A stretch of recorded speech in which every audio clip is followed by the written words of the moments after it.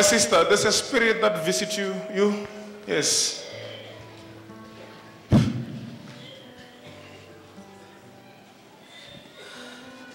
There's a spirit that visits you. Are you with me?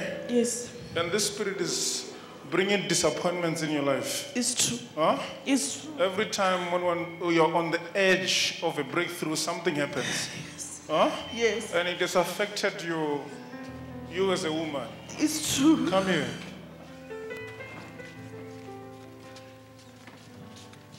It has affected you. This, this spirit is the one that is also trying to kill people in the family. Are you hearing me? Yes, Because you now, it is it's trying to make you to be sick. I'm sick. Huh?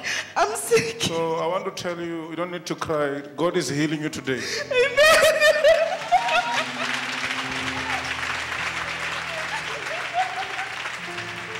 God is healing you, and in, don't be ashamed of this.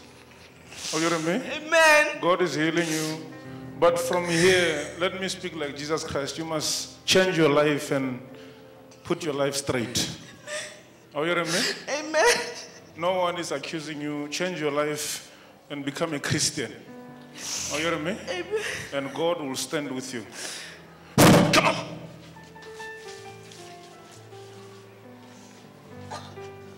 Leave that stomach, you demon.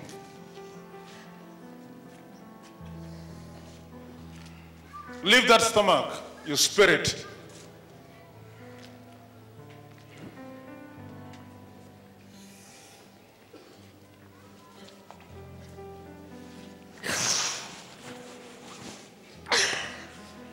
You're leaving, you demon. Huh? You're saying what? Hmm?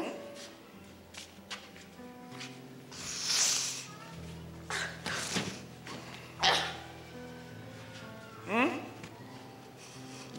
You're denying. You don't want to go.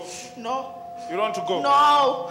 So why are you making this lady to face this problem too? Huh? Why are you piling up these challenges like this? Who are you? Huh? Who are you?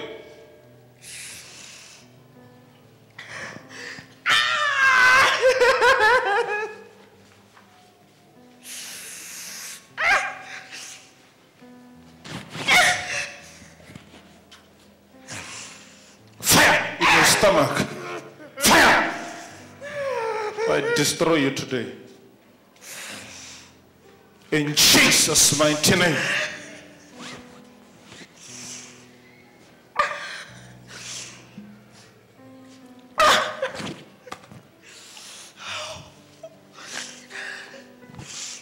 In Jesus' name. You're free.